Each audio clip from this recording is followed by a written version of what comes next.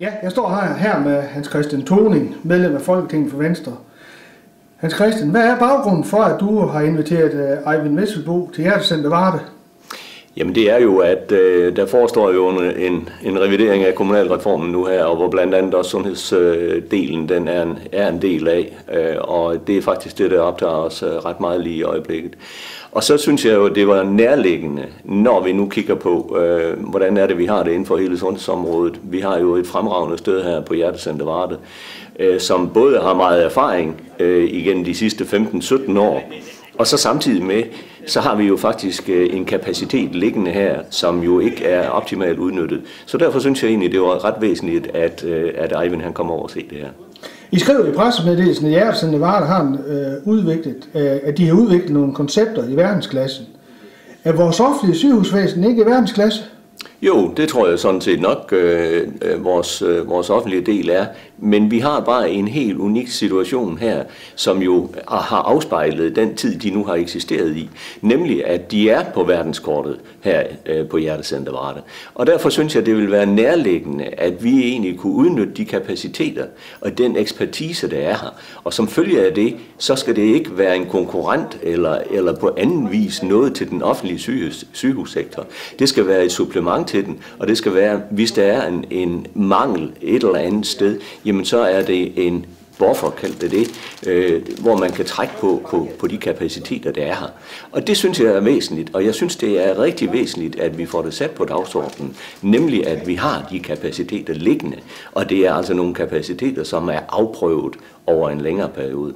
Så det vil sige, at det du har set i dag, det øh, bekræfter, at det skal være den vej, vi skal. Ja, det synes jeg, og jeg synes, det er jo ikke et enten eller med den offentlige sy- sygehussektor og den private. Det skal være et både og, og det skal være en, en i samarbejdets ånd, hvor man går ind og siger, jamen vi hjælper hinanden der, hvor vi har mulighed for det, i særdeleshed, når vi har noget kapacitet, som ligger her. Tak skal du have. Velkommen. Jeg står her med Venstres sociale ordfører og medlem af Sundheds- og Forebyggelsesudvalget, Øjvind Vesselbo. I pressemeddelelsen skrives der, at Hjertecenter Varde har udviklet nogle koncepter i verdensklasse. Fik du en inspiration til den kommende evaluering af kommunalreformen, hvor sundhedsområdet er en vigtig del, Eivind? Ja, det må man sige, og det formålet med at komme herover, det var jo netop at få noget inspiration, men også få at vide øh, sådan på nært hold, at dem, der kører det herover, hvordan tingene fungerer. Og jeg må sige, at jeg har fået bekræftet det, som jeg har hørt om det her, at det er et fantastisk sted, hvor man, når man kommer ind ad døren, føler sig hjemme. Og det er jo ligesom det, som har været udgangspunktet, det er både føle dig hjemme, lave noget, som er nogle, en slags hotelværelser, hvor man kommer som de siger gæst og bliver behandlet, og hvor det hele bare er så meget på plads, både menneskeligt, men også teknisk og kvalitetsmæssigt. Nu kan jeg lade være med at spørge dig, fordi vi hører det der hjertecenter var der verdensklasse. Er vores offentlige sygehusvæsen i verdensklasse? Jeg mener, at øh, der er jo mange øh, i det offentlige sygehusvæsen, læger og sygeplejersker, som, som, som, som arbejder på et meget højt niveau. Og jeg mener, at mange, mange af vores sygehuse, jeg vil sige de fleste, øh, de har jo en meget, meget høj standard. Men derfor er der jo også brug for, at hvis de offentlige sygehuse ikke kan klare øh, at tage patienterne, og der bliver ventelister, så er det jo vigtigt, at man har noget alternativ. Altså en buffer, som kan tage de her ting. Og det vil jeg lige ind på her til sidst.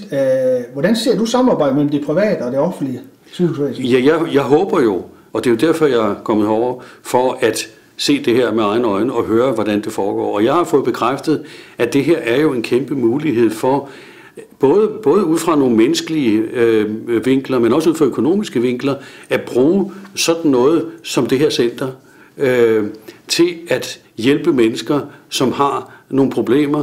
Øh, det, og i det her tilfælde, der er det hjerteproblemer, som de kan få løst. Vil Venstre til op på næste valg, vil de kunne bruge noget i deres skytsager til, at det er det, vi skal den her vej? Ja, det mener jeg helt klart, fordi ja.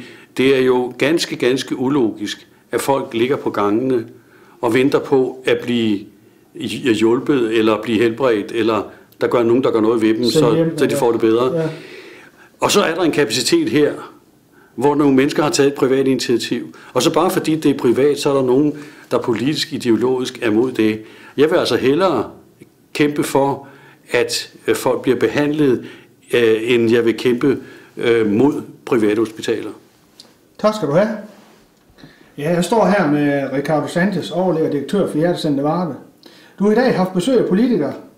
Øh, hvad var det, du kunne vise dem og fortælle dem? Jeg har vist de, de gode faciliteter, vi har her til gavn for patienterne, og jeg har fortalt det høj kvalitet i behandlingen, vi har her, de gode resultater og det godt samarbejde, som vi har haft, både med region og andet før i tiden. Hvad er det, I er rigtig gode til her i Varde i forhold til det offentlige sygehus?